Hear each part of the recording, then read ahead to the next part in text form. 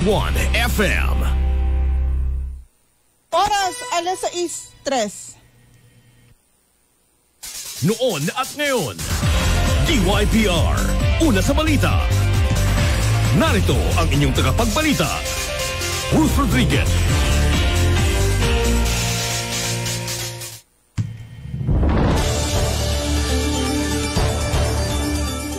Magandang umaga, Luzon ng Puerto Princesa, Lalawigan ng Palawan. Araw ng lunes, April 18, 2022 at narito na ang mga balita ngayong umaga. Assessment ng uh, Palawan Provincial Police Office sa katatapos na Semana Santa Alamin. Mga debotong uh, katoliko aktibo sa tradisyon uh, tuntong nakalipas na Semana Santa. Uh, libong uh, halaga ng uh, shabu na kumpiska sa drug by bust operation sa bayan ng Nara. Sa showbiz balita, Maha Salvador at non-showbiz boyfriend Rambo Nunez engaged na. Sa balitang Good Vibes, pista na muling pagkabuhay ginunita sa salubong ng iba't ibang simbahan sa lalawigan. Abangan ang detalye ng mga balita makalipas ang ilang sandali. Sa mahigit sampung taon, ang City Nickel Mines and Development Corporation ay nagsasagawa ng responsableng operasyon ng pagmimina sa bayan ng Nara at Sofronio Española, lalawigan ng Palawan. Layunin namin na magdala ng kaunlaran sa aming mga mining communities bilang partner ng pamahalaan. Bahagi ng aming paglalakbay ang makapaghatid ng tulong sa pamamagitan ng mga proyekto, programa at gawain na naaayon sa kanilang pangangailangan upang maiangat ang antas ng pamumuhay. Nitong dumating ang City Nickel Mine, unang-una na doon nakapagbigay sa amin ng employment. Marami sa taga-Pulot Interior ang nagkaroon ng trabaho. At Una-unang nasagot sa aming pinaka-problema, nagkaroon kami ng isang covered court. Patuloy pa rin naming pagsisikapan ang bawat taon na kasama kayo sa pangangasiwa ng tapat sa kapaligiran at pamayanan. Ito ang istorya sa likod ng aming responsableng pagmimina. City Nickel Mines and Development Corporation. Sa responsableng pagmimina, may ginhawa. Bongga! Palaparaan, kaya ipalawan mo na! Mars, saya mo ah. Di ba ang dami mong bayarin? Mars! Palaparaan sa Palawan Pawn Shop. Alam mo kung ba't Palawan? Dinala ko ang alahas ko. Ma'am, 1% lang pag natubos within 11 days. High appraisal pa. Correct, ma'am. Mabilis pang mag-renew sa kahit saan sa napakarami naming branches. Automated pa kami, ma'am. Kaya walang mali sa kwenta. May text reminders pa para iwas penalties. Bongga! Mapagkakatiwalaan talaga. Ako naman, Mars, palaparaan. Sa Palawan Express, pera padala. Padala ko kay Madir. Sir, napakamura ng charge dito. Madali pa magpadala at mag-claim. Napakaraming branches pa. Kaya gusto ko dito sa Palawan. Walang kuskus malungos. Maya-maya, hello? Anak, salamat. Eto, hawak ko na ang cash. Ang bilis. Bongga! Palaparaan, kaya ipalawan mo na. Mag-eleksyon na naman. Naghahanap ba kayo ng mura, quality at mabilis na serbisyo ng inyong election materials? Saan ka pa? Punta na sa Tata. Sa Tata. Ni Tata Printing Services. They offer the most affordable and quality products for your election needs. They have tarpaulin, t-shirt printing, calendars, and many more. Kaya ano pang hinihintay mo? Punta na sa Tata. Tata. Ni Tata. Sa ibang katanungan, punta lang sa Rojas Street, katabi ng HTU. O tumawag sa kanilang numero 0915 786 0967 o mag-email sa tataknitatang at gmail.com. Tata ni Tata Printing Services. Hello to all college aspirant out there. What program are you planning to take for college? At Centro Escolar University, choose any program in its Manila, Makati, and Malolos campuses. From health sciences programs to business, computer and IT, hospitality management, liberal arts, and even music and social work programs. Apply now at CEU, a university that develops competence and character, allowing its graduates to lead rewarding careers as they contribute to their chosen field and society. CEU empowers, CEU inspires. For more details, visit its official website at www.ceu.edu.ph.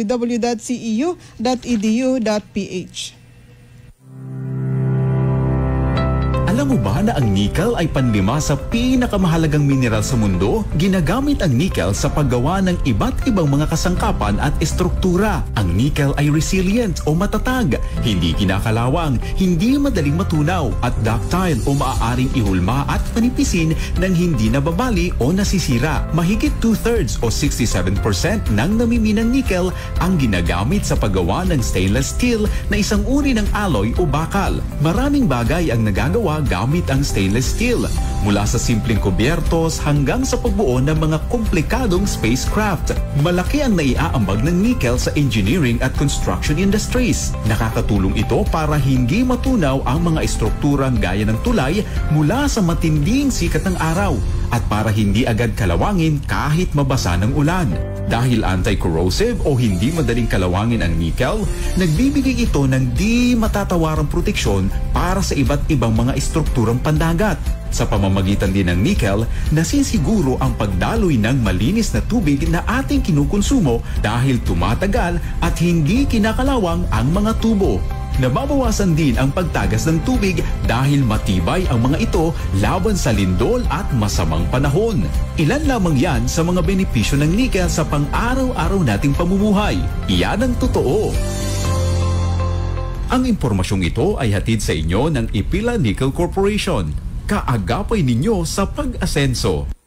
DYPR Balita sa Umaga Sampung minuto makalipas ang alas 6 sa detalye ng ating balita ang Palawan Provincial Police Office nagkaroon ng assessment kaugnay sa selebrasyon ng Simana Santa sa buong lalawigan. Alamin natin ang uh, balita mula kay Romy Luzares.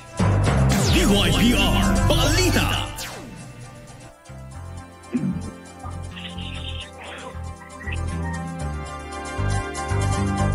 Romy maging uh, payapa daw ang uh, kabuuan uh, ng uh, lalawigan ng Palawan sa paggunita ng uh, Semana Santa. Ito ang assessment ng PND Palawan na sa lahat ng uh, munisipyo. Ayon kay Police uh, Captain Rick Ramos, tagapagsalita ng Palawan Provincial Police Office, wala silang uh, naitalang uh, malalaking krimen na sa nagdaang uh, paggunita ng mga mamamayan ng lalawigan na sa nakaraang Holy Week na. Ayon kay Captain Ramos, uh, maglalabas umano sila ngayong araw ng crime volume sa buong Palawan kung mayroon man para sa mga comparison na ng mga nagdaang Simana Santa sa nakaraang na taon na. Pero sa pinakahuling informasyon mula kahapon na ay tahimik na ginita ng Palawenyo ang Holy Week. Palatandaan na naging masunurin ang mga mamamayan na tatagubilin sa kanila para sa pagbinta ng tahimik at maayos na Simana Santa. Ngayong araw din na malalaman kung uh, mayroong ay talang buong lalawigan na, na may kinalaman sa pagunta ng Holy Week uh, maging dito sa lungsod ng Puerto Princesa ay uh, pareho ang assessment uh, ng uh, City Police Office uh, kung saan uh, tahimik din na na-islibra ng mga taga Puerto Princesa ang uh, Simana Santa. Bagamat uh, hindi nagkaroon na ng mga event uh, sa mga lugar kung saan uh, isinasagawa ang uh, paggunita uh, ng uh, Simba Santa, lalo na sa Mount Calvary. Ang kamanggap lamang ng tao para uh, mamasyal at uh, mag-sightseeing sa lugar. Pero pagsapit ng alas 6 ng uh, gabi, ay pinapalabas na ang uh, mga tao at hindi na hinahayaan uh, magtagal pa sa loob. Uh. Walang uh, ito umano ang uh, unang uh, pagkakataon na, na tanging uh, pagdalaw lamang sa Mount Calvary ang ginawa ng uh, mga mamamayan ng lungsod uh, base na rin sa kautusan na inilabasa ng uh, pamunuan nito at ng uh, city government. Romelo Sares para sa DWTR ang una sa puso ng mga. DYPR Balita Maraming salamat Romy Luzares. Ang mga debotong uh, katoliko naging aktibo ulit sa mga tradisyon ngayong Simana Santa. Ang, bati, ang detalye ng balita mula kay Romne Cadelenya. DYPR Balita Matapos ang dalawang taon, muling ibinalik ang ilang religious activity sa masimbahan ngayong dumaang Semana Santa. Ang prosesyon ay nagsimula sa Immaculada Concepcion bandang alas 5 ng hapon noong biyernes. Ayon kay Father Salvador Saturnino, Pinapakita lang ito ang pagpapahalaga sa sakripisyong ginawa ni Iso Kristo para sa atin. Para naman kay Tatay Vicente Mirafuentes, impluensyo ng kanyang mga magulang kung bakit nila naging panata ang pagsama sa prosesyon. Kadalasang nagkakaroon ng mga pahalik sa puon pagkatapos ng prosesyon, ngunit dahil sa mga safety protocols, binawal muna ito ng simbahan. Romel Cadelenya para sa DYPR Palawan, ng una sa puso ng mga Palawenyo. DYPR.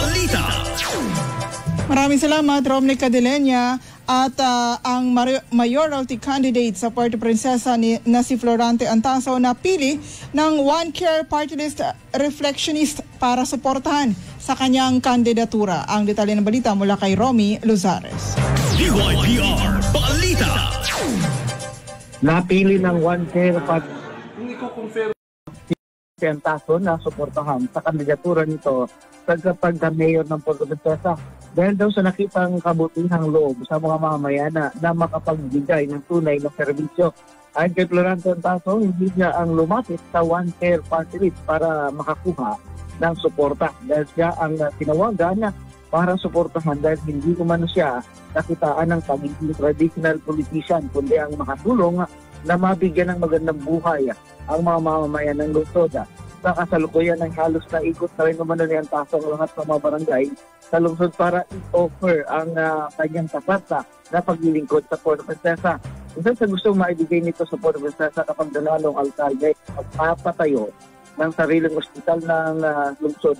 Dapat tatakbuhan ng siyudad na, na magbibigay ng libreng medikasyon sa mga mauospitala na mga mamamayan. Hindi naman tulad ngayon na nakaasas sa mga private hospital kaya naglalakihan ang binabayaran na ng mga nagpapasakit kung saan hindi kayang matugunan na ng kanilang kaanak at wala rin ma-provide na tulong ang city government. Palaki umano ng pondo ng pamanang panlungsod na, kung gugustuhin ay kaya nang makapagpatayo ng sariling ospital katuwang ang Department of Health. At kapag nanalo umano si Antaso ay nakahandang tumulong ang One Care Party List para may sakatuparan ang magandang layunin na ito ni Antaso para sa mamamayan ng lungsod. Romy Losares para sa Duay Piano, una sa puso ng mga palaway niya. DYPR Balita. Abangan sa aming pagbabalik, 66-year-old na nasaksak ng kaalitan ng anak patay sa Westcom Road at ang 80,000 worth ng shabu na nakumpiska ng mga otoridad sa buy-bust operation sa bayan ng Nara. Ako po si Consel Matt Mendoza, muli pong lumalapit at humihingi ng inyong suporta para kay Nico Mendoza Tan. Si Nico po ay aking pamangkin. Kagaya ko, ni Consel Matt Mendoza, nais din pong ipagpatuloy ni Nico ang paglilingkod at pagsisilbi dito sa ating minamahal na lungsod. Sana po ay matulungan at masuportahan ninyo si Nico. Para po konsihal ng Puerto Princesa, Nico Mendoza Tan, number 38 sa inyong balota. This political advertisement is paid for by Matthew Mendoza. Alam mo ba na ang industriya ng pagmimina ay may malaking na itutulong sa lokal na ekonomiya ng isang bayan o barangay? May kabahagi ang barangay, munisipyo at probinsya mula sa buwis ng isang minahan. Nagbabayad din ng malaking halaga ng real property tax ang kumpanya ng minahan direkta sa munisipyo. Aabot sa 3,000 residente ng munisipyo ang mabibigyan ng trabaho. Kapag may sweldo, may gagastusin at lalakas ang lokal na ekonomiya. Hindi pa kasama rito ang benepisyo mula sa mga programa at proyekto ng minahan sa komunidad at royalty ng mga katutubo. Iyan ang totoo. Ang impormasyong ito ay hatid sa inyo ng Ipila Nickel Corporation, kaagapay nyo sa pag-asenso. Fitness Camp is now in Puerto Princesa. They offer weight loss program, weights training, functional training, boxing, mixed martial arts, Muay Thai, Brazilian Jiu-Jitsu, Zumba, and supplement shop. Fitness Camp is located at Junction 1 Sutter between Honda Prestige and National Bookstore. For inquiries, call or text 0908-211-4362. Fitness Camp is open Monday to Sunday from 7 a.m. to 9 p.m. Fitness Camp. Set the trend. Join the squad. See you at the camp.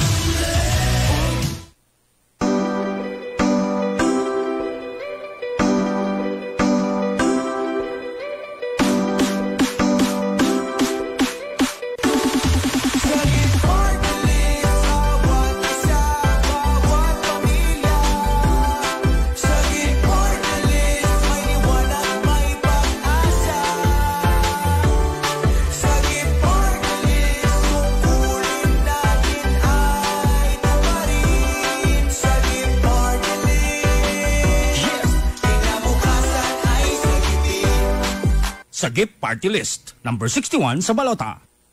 Si Florante Antazo, kumakandidatong mayor ng Puerto Princesa City. Nakisahirap pero nagsumikap. Naging working student hanggang nakapagtapos ng Bachelor of Science in Civil Engineering. Dating driver at tindero hanggang maging matagumpay na negosyante. Hangad makapagtayo ng City Hospital, aayusin ang drainage system, turismo, agrikultura para sa murang pagkain at free internet access sa lahat. Dito na tayo sa ordinaryong tao, hindi politiko. Florante Antazo, number one sa balota. Kay Antazo, numero uno ka.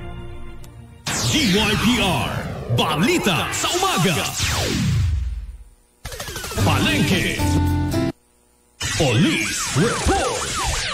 At sa ating uh, police report, 80,000 worth ng shabu na kumpiska ng mga otoridad sa sinagawang buy-bust operation sa bayan ng Nara. Ang detalye mula kay Romy Luzares. Police Report Tatlong plastic lang ng uh, sasilang hinihalang ng pangsamin hydrochloride o kilala sa tawag na sabo ang nakumpiska sa dalawang suspect sa bayan ng Nara, Palawan na matapos ang sinagawang drug bypass operation na doon na. Ang uh, dalawang suspect ay uh, tinigalang na sina Reynaldo Marcelo Bernel, 26 o 56 anyos na asawa, walang trabaho. Presidente ng Panakan Dos, Nara, Palawan na at sa Jenaline uh, Kahag Tanchik, 27 anyos, dalaga, walang trabaho, na residente rin ng, ng uh, Panakan. Kung saan nabilihan ang dalawang suspect ng isang uh, plastic sachet ng hinignalang sabo na nagkakahalaga ng 2,000 piso na, nag, na nagpanggap na pusher buyer uh, ng uh, mga otoridad. Matapos ang pag-aresto, dalawa pang plastic sachet na posibleng uh, sabo ang nakumbiska o nakuha sa mga ito at uh, dalawang uh, roll ng aluminum foil at crumpled foil, lighter, straw at Honda Beat motorcycle kumulyo ang na-recover sa mga ito. Kaya tayang nasa 10 gramo ng hinihinalang shabu ang nakumpit ka sa isinagawang drug bypass operation na, na nagkakahalaga ng 80,000 pesos na. Ang dalawang suspect ay naharap sa paglabag sa Republic Act 9165 uh, o pagbibinta ng illegal na droga. Romel Lasaret para sa DOPR, una sa puso ng mga Palawan niya. Police Report At sa ibang balita pa, Junior Chamber International Community sa Palawan, sinimula na ang isang linggong uh, JCI Week celebration kahapon. Ang detalye ng balita mula kay Jerome Abanto. DYPR Balita Simula, sinimula na kahapon ng GCI Community ang isang linggong selebrasyon nito ng JCI Week. Ang JCI Week celebration ay taunang sineselebrate ng JCI sa buong Pilipinas. Ngayon taon, ang kanyang tema, Kulay, Knowledge, Unity, Leadership, Arts for the Youth. Ayon kay 2022 JCI Puerto Princesa Oil Local President Carl, Carl Dylan Aquino, 2022 inaasahan nila na maraming JCI members ang makakadalo ng kanilang aktibidad ngayong taon. Dahil ngayong taon lang ulit sila nagkaroon ng face-to-face celebration. Highlight ng celebration ang 26 na project ngayong buong linggo. Magkakaroon din sila ng iba't ibang seminars at leadership training for the youth. Iniimbitahan ng JCI ang lahat na maging ang mga kabataan na makibahagi sa kanilang JCI Week celebration. Jerome Abanto para sa DYPR Palawan, ang una sa puso ng mga Palawenyo. DYPR Balita Police Report At 66 na or 66 na gulang na pinagsasaksak ng kaalitan ng anak patay sa Westcomb Road. Ang detalye ng balita mula kay Romy Luzares. Police Report Patay ang 66 anyos na ginang matapos sa ng limang beses sa na kaalitan na ng anak ng uh, biktima. Ang uh, biktima ay hindi na pinangalanan pa ng City Police Office sa hiling umano ng mga kaanak na huwag nang bagitin ang napangalan na ng 66 na babaeng biktima na residente ng Purok Bagong Silang Zone 1, Westcomb Road, Barangay San Miguel, Lungsod na ito. Samantalang ang suspect ay si Luis Anthony Aramay, 38 anyos, binata. Walang trabaho na residente din ng Barangay San Miguel. Sa investigasyon ng Police 1 na dahil sa dati pang alitan ng anak ng biktima kaya sumugod ang suspect sa bahay ng biktima at hinahanap ang anak nito kung saan sinagot na ng uh, ang suspect na nasawi kung ah, bakit at ah, pagpasok nito sa bahay ng biktima ay walang ano-anong agad na pinagsasatsaka ang biktima ng limang beses na tumama sa leeg at dibdib at iba pang ah, bahagi ng katawan. Agad na sinugod sa Westcom Hospital ang biktima at kalaunan ay inilipat sa ospital ng Palawan kung saan ah, nasawi ang ah, biktima habang ginagamot sa ospital ng Palawan. Agad namang na-arresto suspect at na-recover din na ang kutsilyo na ginamit sa krimen kung saan na pum- pumirma ng waiver ang suspect na mananatili ito sa custody ng Police Station 1 na habang isinasagawa ang kasong ah, kakaharapin na ng suspect. Romel Rosares para sa BPR, ang una sa puso ng mga Palawan.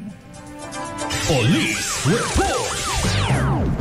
At ngayon naman puntahan natin si Jerome Abanto para alamin ang mga o ang presyo ng mga pangunahing bilihin sa ah, sa Old Public Market. Jerome? Palengke Report. Narito tayo ngayon sa Old Public Market upang alamin ang presyo ng mga pangunahing bilihin.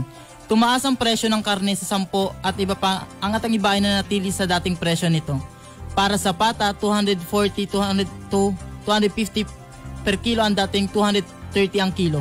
Sa laman naman ay 300 pesos per kilo, ganun din ang liempo at pork chop.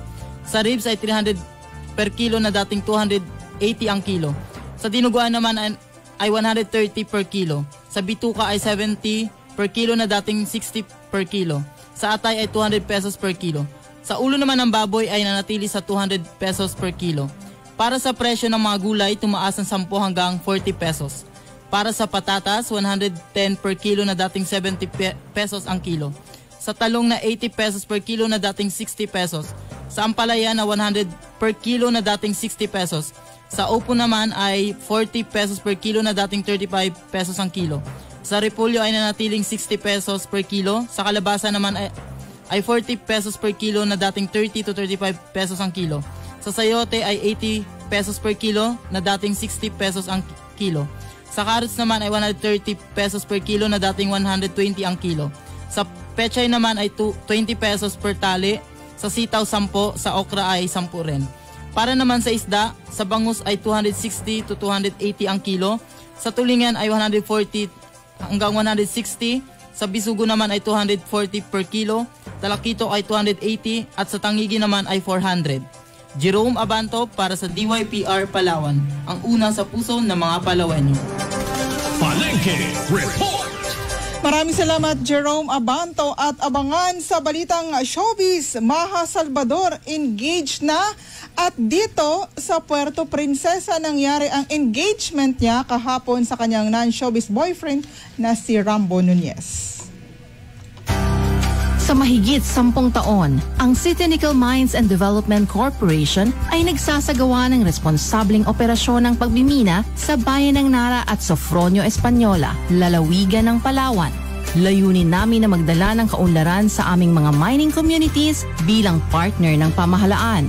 Bahagi ng aming paglalakbay ang makapaghatid ng tulong sa pamamagitan ng mga proyekto, programa at gawain na naaayon sa kanilang pangangailangan upang maiangat ang antas ng pamumuhay. Sa kabila na hirap sila tatay, nanay dahil sa eskola kung ba't kami nakatapos. Kaya malaki na itulong ng scholar sa amin kung ba't nandito kami na nagtatrabaho at nakakatulong na din sa kanila. Ang City Nickel po, nagbigay ng mga health station. Patuloy pa rin naming pagsisikapan ng bawat taon na kasama kayo sa pangangasiwa ng tapat sa kapaligiran at pamayanan. Ito ang istorya sa likod ng aming responsableng pagmimina. City Nickel Mines and Development Corporation sa responsableng pagmimina may ginhawa. Bongga! Palaparaan, kaya ipalawan mo na. Mars, saya mo ah. Di ba ang dami mong bayarin? Course! Palaparaan sa Palawan Pawn Shop. Alam mo kung ba't Palawan? Dinala ko ang alahas ko. Ma'am, 1% lang pag natubos within 11 days. High appraisal pa. Correct, ma'am. Mabilis pang mag-renew sa kahit saan sa napakarami naming branches. Automated pa kami, ma'am. Kaya walang mali sa kwenta. May text reminders pa para iwas penalties. Bongga! Mapagkakatiwalaan talaga. Ako naman Mars, palaparaan. Sa Palawan Express pera padala. Padala ho kay Madir. Sir, napakamura ng charge dito. Madali pa magpadala at mag-claim. Napakaraming branches pa. Kaya gusto ko dito sa Palawan. Walang kuskus balungos. Maya-maya, hello? Anak, salamat. Eto, hawak ko na ang cash. Ang bilis. Bongga! Palaparaan. Kaya ipalawan mo na.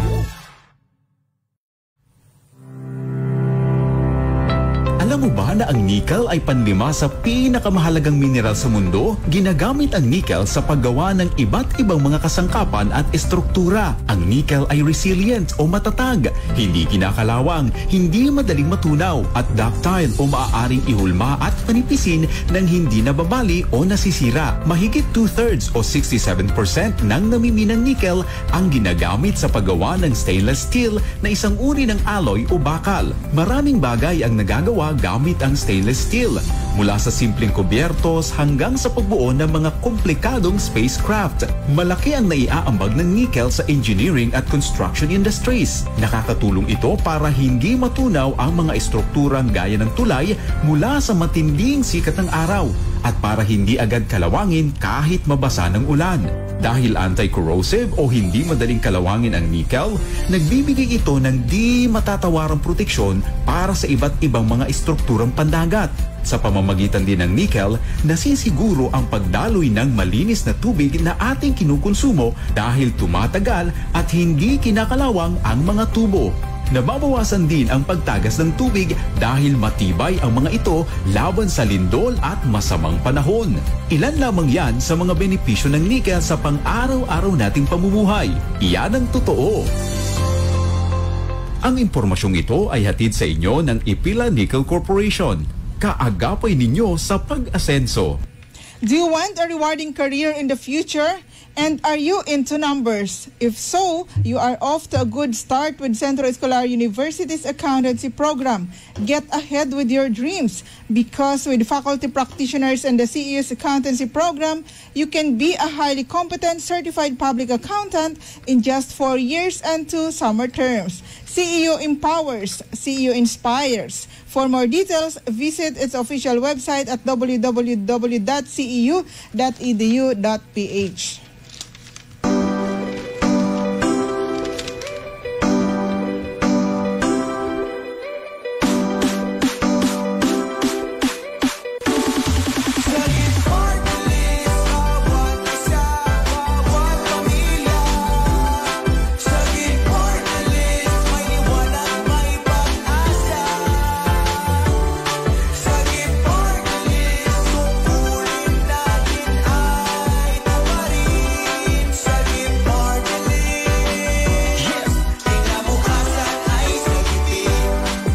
Sagip Party List, number 61 sa balota. Si Florante Antazo, kumakandidatong mayor ng Puerto Princesa City. Nakisahirap pero nagsumikap. Naging working student hanggang nakapagtapos ng Bachelor of Science in Civil Engineering. Dating driver at tindero hanggang maging matagumpay na negosyante. Hangad makapagtayo ng City Hospital, aayusin ang drainage system, turismo, agrikultura para sa murang pagkain at free internet access sa lahat. Dito na tayo sa ordinaryong tao, hindi politiko. Florante Antazo, number one sa balota. Kay Antazo, numero uno ka. DYPR Balita sa Umaga Showbiz Balita At sa ating showbiz balita, Maha Salvador engaged na at dito sa Puerto Princesa nangyari ang kanyang engagement sa kanyang boyfriend na si Rambo Nunez Ortega. Ang detalye ng balitang yan mula sa Showbiz Insider, Joel Contrivida. Showbiz Balita Pasabog ngayong linggo ng Easter ang ginawang pag-propose ng negosyanteng si Rambo Nunez Ortega sa longtime girlfriend nitong aktres at host na si Maha Salvador. Officially engaged na ang dalawa kahapon sa isang pribadong pagdiriwang ng Easter Sunday ng pamilya ni Rambo na kasama ang aktres. Sa post ng aktres ay suot ang engagement ring, sinabi nitong may new beginning ang pagtanggap niya sa wedding proposal ni Rambo. At sa post naman ni Rambo ay sinabi nitong the best part is yet to come. Taong 2010 ang naging magkasintahan ng dalawa ngunit 21 years old pa lang noon si Maha at kasagsagan ng kanyang karera karera sa showbiz kung kaya nagdesisyon silang maghiwalay. Ngunit nitong 2019 ay nagkabalikan ng dalawa at sa dito nga sila sa Palawan inabutan ng pandemya at tumagal sila ng pananirahan dito. Si Rambo ay kapatid ng may bahay ni Congressman Chicoy Alvarez sa unang distrito ng Palawan na si Yani. Nitong Holy Week ay spotted din ang magkasintahan sa El Nido. Naganap ang engagement ng dalawa sa isang pribadong bahay dito sa Puerto Princesa. Joel Contribida para sa DYPR ang una sa puso ng mga Palawin. DY Showbiz Balita. Balitang Good Vibes. Congratulations sa mga bagong engage at sa ating ah, balitang good vibes. Tapos na nga ang kwaresma at ang pagdiriwang ng Pasko na muling pagkabuhay ang hudyat na natatapos na ang halos limang linggong ah, Lenten season. At sinimulan ito kahapon, araw ng linggo, sa pamamagitan ng salubong. Isang tradisyong katoliko na ginagawa sa halos lahat ng simbahan. At dito sa Puerto Princesa City ay kanya-kanya silang programa ng salubong o ang pinapaniwalang unang pagkikita ni Heso Kristo at Birheng Maria. Ang salubong ay ginugunita sa isang prosesyon kung saan nakahiwalay ang babae at lalaki. Ang mga babae ay kasunod ng imahe ng water or Mother Dolorosa at ang mga lalaki naman ay sa muling pagkabuhay na imahe ni Jesus.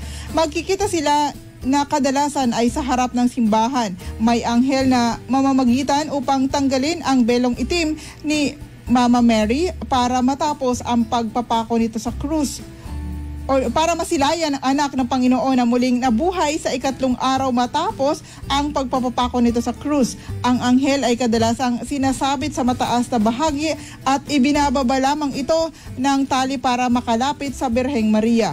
Ang salubong ay nagaganap sa Passion Sunday o ang Domingo de Lazaro ang uh, salubong ay wikang Pilipino na ang ibig sabihin ay ang pagkikita. Hindi nasusulat sa Biblia ang nasabing salubong ni Jesus at Maria, ngunit pinapaniwalaan ng mga debotong katoliko at maging ng simbahan na, sa, uh, na si Inang Maria ito unang nagpakita matapos mabuhay uli at sa tradisyong Pilipino ay patunay ito na ang anak ay unang nagtutungo sa ina sa anumang pagkakataon sa buhay. Balitang Good Vibes. Weather Report. At sa ating ulat panahon ngayong lunes, ang weather system ngayong araw ay ang northeasterly surface wind flow o ang hangin na nanggagaling sa hilagang silangan. Kung kaya maganda ang panahon ng ating mararanasan ngayong araw. Walang bagyo o low pressure area na binabantayan ng pag-asa sa loob at labas ng bansa. Ngayong araw ay asahan ng mainit na panahon lalo na sa pagitan ng alas 10 ng umaga hanggang alas 4 ng hapon. Sumikat ang araw kaninang alas 5.55 ng umaga at lulubog ito alas 6.16 mamayang hapon.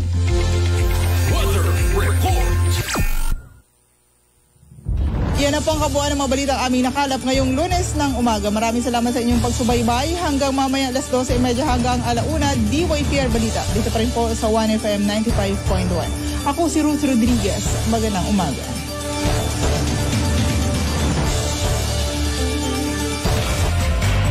Inyong napakinggan ang DYPR Balita. Noon at ngayon, DYPR, una sa balita. Hanggang mamaya, dito sa 95.1, 1FM.